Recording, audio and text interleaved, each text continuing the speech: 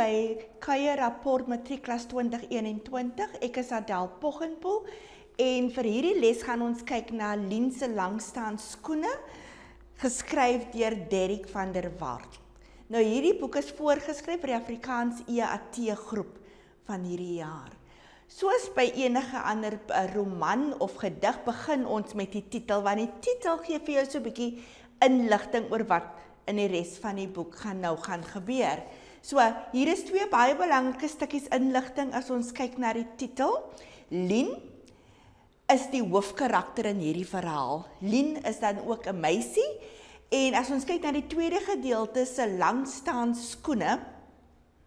Dit is die skoene wat Lien by Pep Stores gaan koop vir R38.99 van hierdie langstaan skoene gebruik sy mos nou om te staan en bedel op die hoek, maar dit kom ons mos nou later in hierdie roman na vore. Die persoon wat dan ook vir haar help om hierdie langstaan skoene te gaan koop, is Roos wat saam met haar bedel en sy het vir haar aangeraai, kyk die skoene wat jy op die oomblik dra, gaan nie baie goed uitwerk nie. So gaan koop vir jou 'n paar skoene en dit is wat sy doen en dit kry ons dat daai inligting op bladsy 52. Die dogtertjie, Sproet se dogtertjie wat ons ook later gaan ontmoet op bladsy 98, sê hierdie skoene is dan nou ook nie jy's mooi nie en die dogtertjie sê die dogter in die wal wou sê, um kyk die die skoene is lelik, né?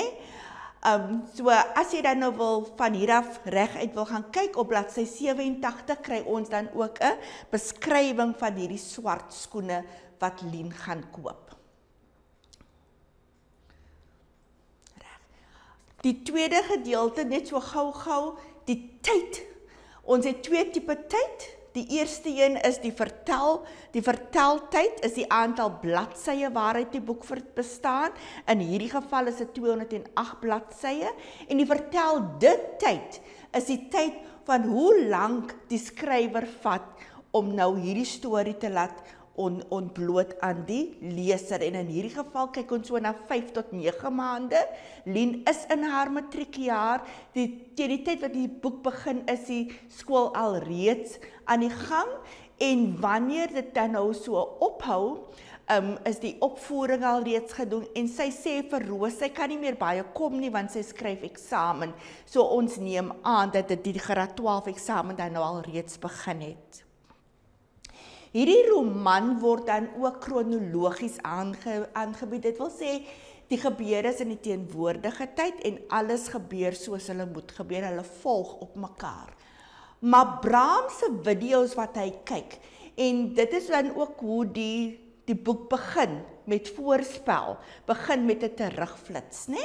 Nou hierdie terugflitsse wat voorkom in die storie onderbreek dan ook die loop van of die kronologie van die storie en hierdie um terugflitsse word aan ons as skuins gedruk voorgestel. Dit is vertellings wat 13 keer in die boek dan nou voorkom. Hierdie uh, word aangedui, ons gaan u later wys met 'n uittreksel, aangedui met asterikse voor en na die um terugflits. En in hierdie terugflitsse kry ons 'n gelukkige familie. So dit is regtig gesinsvideo's wat Bram besig is om na te kyk. En in hierdie video's word dan na die pa verwys wat ons dan ook later in die boek ontmoet, nê? Nee? Maar ons kan sien dis 'n gelukkige familie wat wat dan nou voorkom die die laaste terugflits wat ons wat is nie eintlik 'n terugflits nie dit is meer soos wat vooruit gaan gebeur. Dit word dan ook naspel genoem. En dit pas nou weer in met die voorspel. Nee jy moet net mooi kop hou hier. Dit is die begin en die einde van die boek.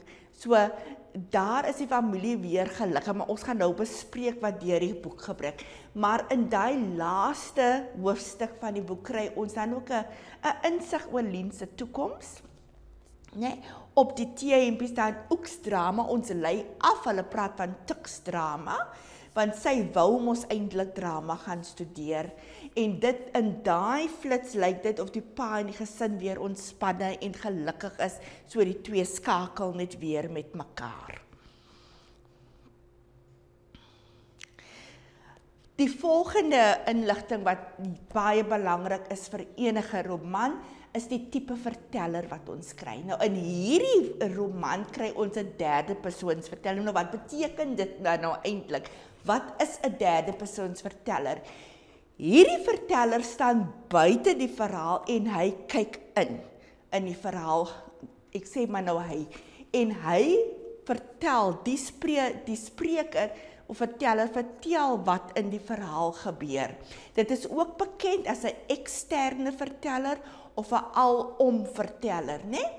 Um die tipe voorname wat in die boekie gebruik word of in die verhaal gebruik word is woorde soos hy, sy, hulle, hulle loop, sy sê, hy vertel, né? Nee? So ek staan buite en ek sê. Dit is soos in jou indirekte rede wat ons geroep. Byvoorbeeld, Lien is skielik so kwaad. Sy wil die meisie se oë uitkrap. Wat weet sy nou eintlik van Wouter af? So ons kan sien die tipe voorname wat sy gebruik is, sy. En dit kry ons op bladsy 67. So wat is die voordeel hier nie? Hierdie tipe verteller weet alles van al die karakters af, né? Nee? Daar is nie juis een karakter wat wat jy niks van weet nie. Um dit gee ook die leser 'n kykie op 'n groep karakters en 'n gebeure. So jy sal weet hoe ek oor iets voel en dan gaan ons ook weet hoe 'n ander karakter oor dieselfde iets voel. Um dit is 'n meer objektiewe waarneming wat hierdie verteller het. Die verteller kan enige plek in die hede of in die verlede wees. So ons kry inligting van albei kante af. En die funksie van hierdie tipe verteller, die leser kan die verskillende karakters se gedagtes en gevoelens in verskeiende tye en verskillende plekke leer ken. Jy is nie net uh, jy kry nie net die insig van byvoorbeeld die hoofkarakter en hoe sy die gebeure sien nie, né? Jy ons kyk na al die karakters. Dis hoekom ons dit noem 'n eksterne of 'n alom verteller.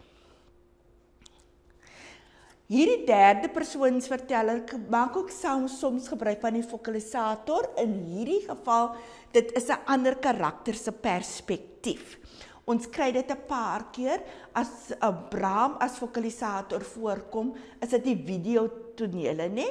Bram soek die videokaset en speel dit. So, ons sien nou wat Bram wil doen.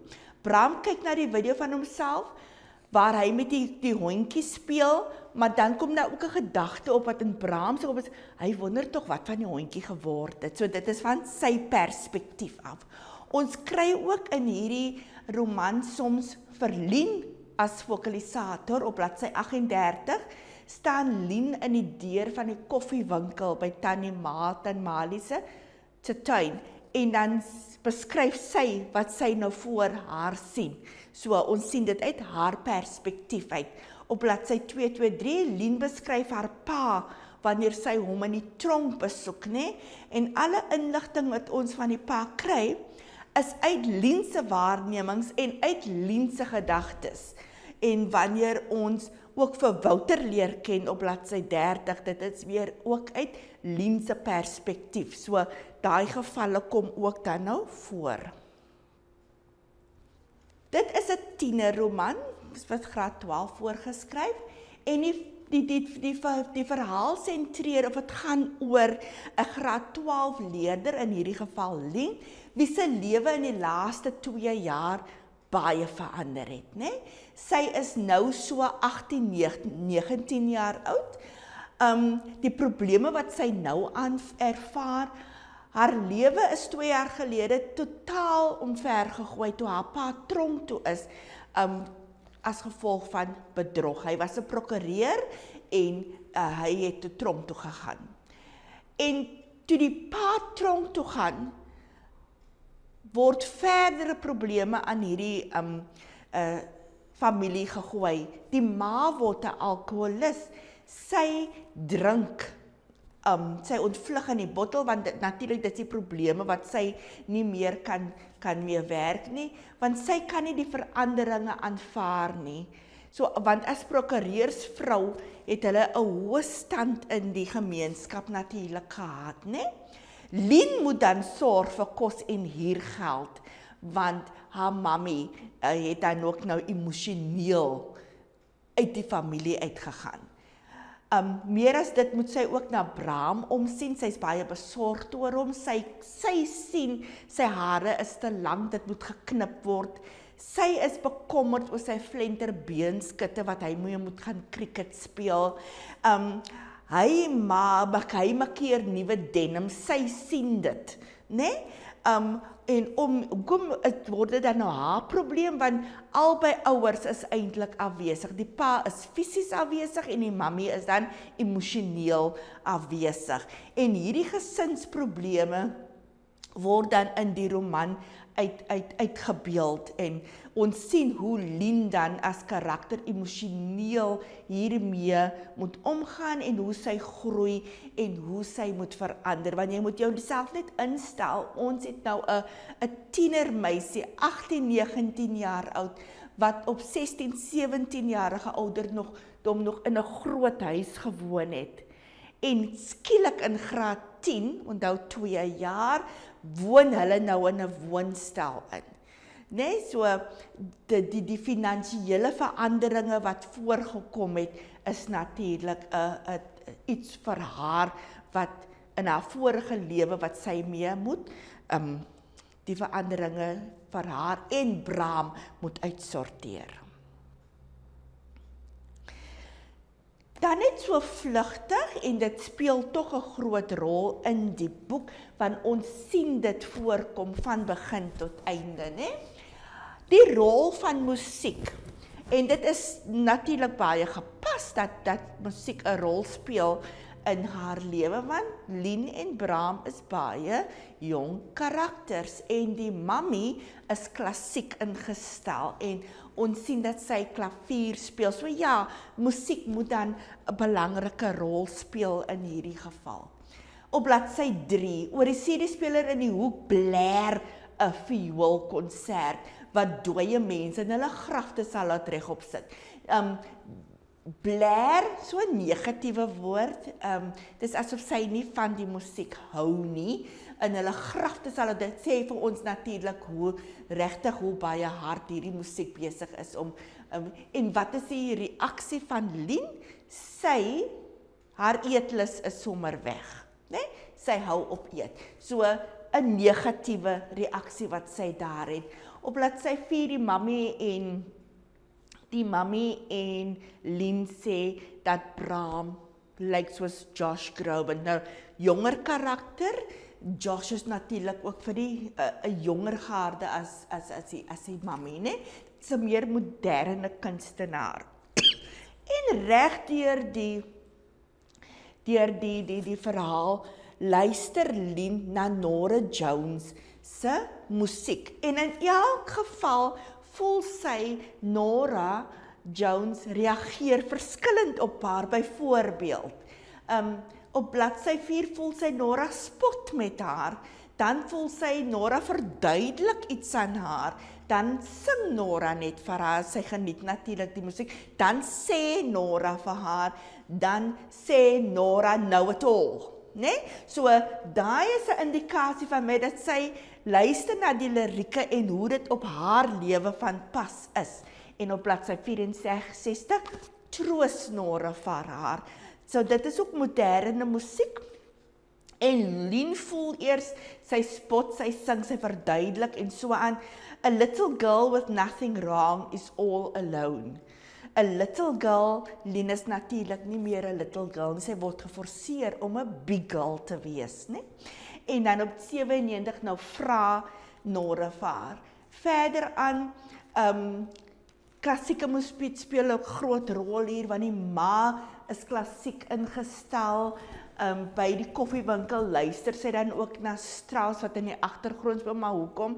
Want as ons kyk na die kliënte in Mali se tuin, is hulle natuurlik pensionaars, so die die musiek is van van pas, né? Um dan sê sy op bladsy 20 noem sy die die stukkie musiek van Mozart en die die die Die beskrywing is Bram en Len ken hierdie musiek al van kleins af. So dit is iets waarmee hulle groot geword het. Dan die country music, Tannie Bet speel country music in haar woonstel. Lin hou nie van die country music nie as jy as jy nou lees, maar in Tannie Bet se woonstel word hierdie musiek dan luisterbaar, né? Sy hou nie daarvan nie, maar ek kan daarna luister. So dit is net hoe sy dan hierdie tannie se omgewing of hoe sy haar ruimte ervaar, 'n meer positiewe ruimte wat sy dan nou insit. Ons kry dan vir Blou Bram, hy hou van Black Eyed Peas, baie modern, pas by sy sy ouderdomsgroep. En verder af ook Dominee Gerard Kuifie, hy luister na Coldplay. Dominee Coldplay, want sy sy verduidelik of sy beskryf vir Dominee Gerard as 'n baie jong dominee, né?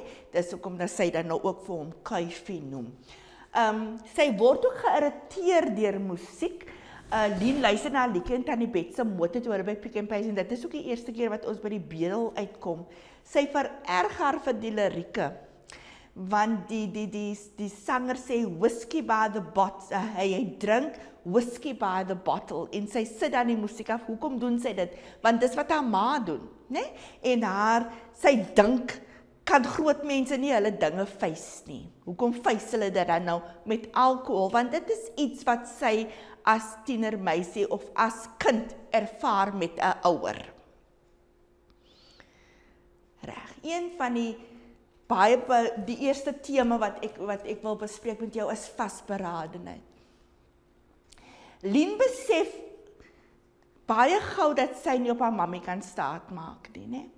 En ons kry reeds op bladsy 3 vir vir sy ken die ritueel van haar ma se drink um en sy gebruik die woordjie geel om haar ma se se toestand te te, te verduidelik. As die ma geel is, dan is sy dronk. En ons kry 'n insig in mense lewe wat toe sy haar ma se ritueel beskryf. En om dit nou te oorkom, kry sy werk elke keer om die basiese goedjies vir haar en Bram kos en klere en te koop en net iets in die in die yskas te hê. Sy beplan ook reeds hier. Sodra Bram 16 is, moet hy gaan werk. Hy moet ook ietsie inbring, né? En dit kry ons op bladsy 8. So sy is vasberade alhoewel sy negatief is, alhoewel sy seer gekry het, alhoewel daar sulke klomp goedjies is wat sy moet na sien. Dit gaan werk, né? Sy sy maak 'n plan. Um as ons nou hierdie die tema 'n bietjie verder bekyk, tant Mali is natuurlik die eerste keer die eerste werkie wat sy kry by die koffiewinkel. Maar sy los ook hierdie werk nadat sy 'n kollega in mekaar gestamp het die die die breekware val en tant Mali sê toe hulle twee moet in inbetaal en sy dink toe nee, dit was 'n ongeluk. Ek gaan dit nie doen nie. Reg? Die gevolg is sy los liewer die werk as om te betaal. Lien is baie desperaat, maar sy gaan nie haarself verloor in hierdie proses om dinge te laat werk nie. Sy weet waar sy in sy glo, sy het haar waardes en um sy gaan nie haarself verloor in die proses nie. Ons moet ook onthou um sy sê in die lewensoriëntering sit sy regte neer as as 'n beroepskeuse, nê? So dit kom ook dan uit waar sy waar sy um besluit maar dis nie vir my nie. Ek gaan nie betaal nie. As werkgewer moet jy verstaan dat hierdie dinge gebeur, nê? Um die tweede werkie wat sy kry is by Millennium Creations. Dit is by 'n haarsalon weer eens nadat sy haar eerste werk verloor het, sy's gestres. Waar waar waar waar waar gaan ek geld kry, nê? Want ons kan nie op mammie staat maak nie.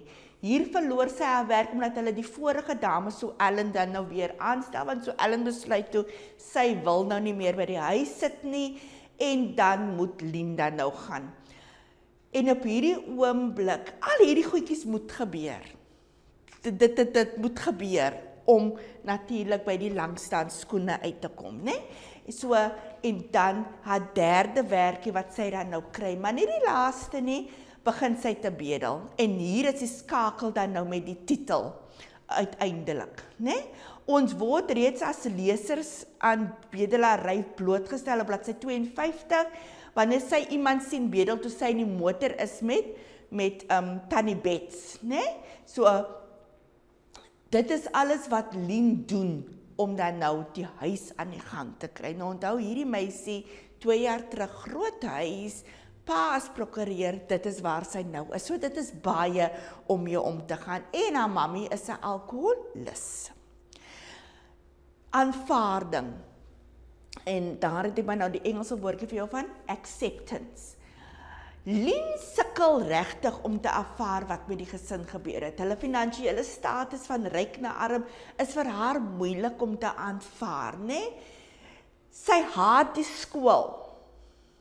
Sy sy was seker by 'n beter skool, né? Nee? Sy haat die skool aan die begin, ons moet dit sê. Sy kon nie aan die skool gewoond raak na 2 jaar al by hierdie skool nie, omdat dit is nou haar tweede jaar. En nog steeds op in hoofstuk 20 gaan sy per bus om net te sien hoe lyk die huis waar hulle dan nou in gewoon het, né? Nee? As karakter groei Lien tog en en sy leer baie um hoe om dan met om hoe om dinge te aanvaar, hoe om te herstel uh, ten spyte van alles wat met jou gebeur het, life goes on. Nee, dit dit gaan aan. Jy moet dit, dit jy moet dit laat werk. Um Lien se ma sukkel om te aanvaar wat met haar gebeur het en sy emosioneel los sy nou net die gesin, nê? Slegs moes sy twee keer na kliniek toe om oor haar alkoholisme te kom. Um so sy is op pad na haar herstelling en haar van haar ma verloor haarself in die bottel en sy moet hulp kry om dan nou alles reg te maak.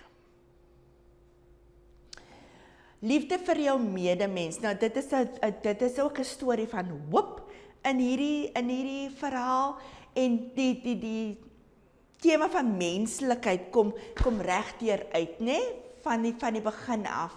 Vir Lien en haar gesin word die uitkyk Tannie Bets natuurlik 'n staatmaker. Tannie Bets gee nou en dan vir hulle kos.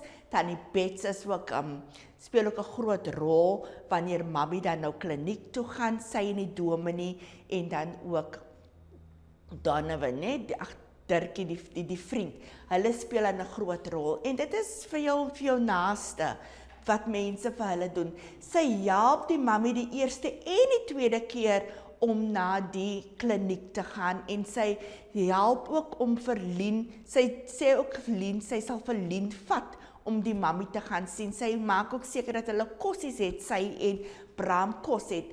Dirkie help haar om hulle van Dominie te kry, um na die insident van ma by die skool waar Wouter weer vir haar help.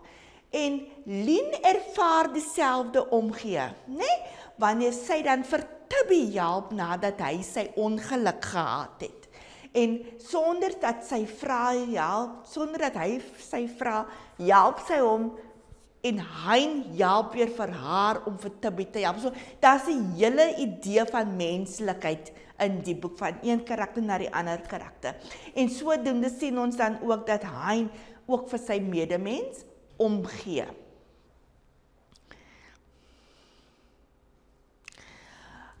Ons volgende tema wat ook baie belangrik is in hierdie boek en al hierdie goedjies maak dit vir Linda moontlik om aan te gaan met die lewe, né? Aanvanklik wou Lin slegs vir Wouter as 'n vriend hê. Sy wou nie eintlik vriende maak met enige iemand anders by die skool nie. En wanneer ons dan nou lees sien ons hulle het albei pa issues, nê? Nee? Hulle het albei pa probleme want Lin se ma en pa is dan ook geskei en um maar hy wil 'n verhouding hê met sy pa en en soms vind vind hy dit moeilik om nou sy pa te haat, maar volgens sy ma maak hy die stelling hy moet sy pa haat tot Eugene ter Blanche vir die ANC stem. So dit is mos nou 'n lang tyd wat ons gaan wag dat pa nie gehaat gaan word en dit is wat hy sê, nê? So hulle het albei pa probleme en van Lien haat ook haar pa. Sy en en en on telke male in die boek sê ek haat jou. Ek hou nie van jou nie. Nê? Nee? Ons on, on sien dit. En hulle al twee is nuut by hulle nuwe skool, die Jacaranda Hoërskool of Hoërskool Jacaranda in 'n fiktiewe Pretoria. Na haar ma se insident by die skool kom daar 'n onverwagte ondersteuning van Sally Swanepoel die volgende dag in die badkamer want toe die insident gebeur wat hy maar dronk by die skool opdaag dink sy al wat sy kan onthou is hoe Sally vir haar aangekyk het by dan die volgende dag Lien het niks gesê nie maar Sally uh, sê vir sy sy weet wat dit is wat Linda nou deurgaan hè en daar kry sy onverwagse ondersteuning van iemand wat sy gedink het gaan nie kom nie. En sy vorm dan later 'n goeie vriendskap met Mimi en gaan bly selfs oor by haar huis gedurende die die voorbereiding van die opvoering. uh, Mimi se bestuurder gee ook dan nou vir haar geleentheid huis toe elke keer na die na die oefeninge, né? En sy wonder soms ook wat haar ou vriende doen, maar sy het nie kontak met hulle nie omdat sy wonder wat hulle doen. So duidelik het sy nie kontak nie, maar weer eens daai tipe vriendskap was dit regtig 'n vriendskap wat niemand het vir haar gekontak nie of en sy het dan vir niemand gekontak nie. En hierdie vriendskappe wat dan nou deur die boek 'n bietjie groter word met Mimi, met Hein, met Wouter, wys vir met Tannie Bets, met Dirkie, dit wys vir ons dat Lien eintlik as karakter groei, né? Nee?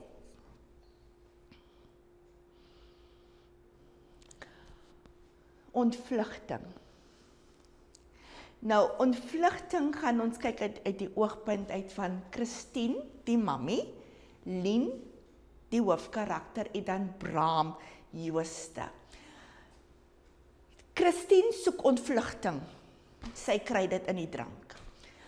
Um op bladsy 13 sien ons haar regressie, nê? Sy word beskryf as 'n beauty en sy het gremering gedra, maar nou is sê sê Lin, sy's op planet euphoria. Euphoria is wanneer jy nie eintlik weet wat om jou aangaan nie, nê? En en dit is hoe sy dan nou mami se se se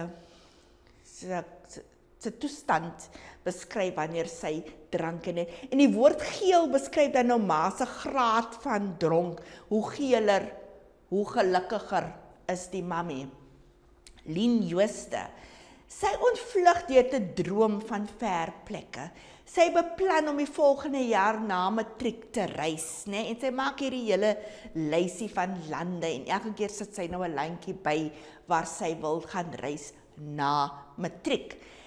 Sy leef haar dan uit in Louis Maria in die um in die opvoering wat die onderwyser dan nou het. Eers wou sy dit doen nie, sy wou nie weet Maria wees nie, maar later begin sy dit geniet. Sy ontmoet vir Hein, sy kry beter vis met Mimi so. Dinge lyk nou weer 'n bietjie positief en dit is hoe sy dan haar probleme wil probeer vergeet. Bram. Bram ontvlug van sy probleme deur televisie te kyk. Hy kyk na die familie video's. Hy wil sien hoe dinge was. So hy gaan hy gaan hy gaan telke male gaan hy terug net om te kyk natuurlik hoe dit hoe hoe die familie bymekaar was, nê? Nee? Want dit het nou so baie verander. En hy spandeer verskriklik baie tyd by sy vriend Dion se huis.